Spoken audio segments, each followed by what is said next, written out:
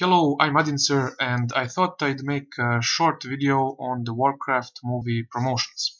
So for a few days there was a slide on the news section of the Battle.net uh, app where it said Warcraft in big letters and nothing else. Uh, when you clicked on it, it just sent you to an incomplete web page saying World of Warcraft free or something like that.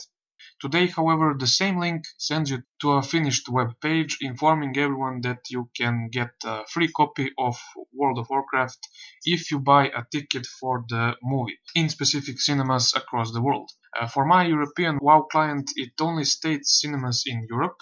Uh, no mention of the UK, however, which is really weird, especially since even my country is on the list. And I don't think too many people are going to be happy about that. Uh, anyway, there isn't any information on that web page uh, about what a free digital copy of World of Warcraft actually means. But what it means is you get everything up until Legion for free and I think a free month of uh, game time. Then you only need to buy Legion and a subscription. So this will be great for uh, for newcomers, obviously, but it will be great for anyone that wants to recruit a friend as well. Uh, for a movie ticket, you get uh, recruit a friend up until level 90.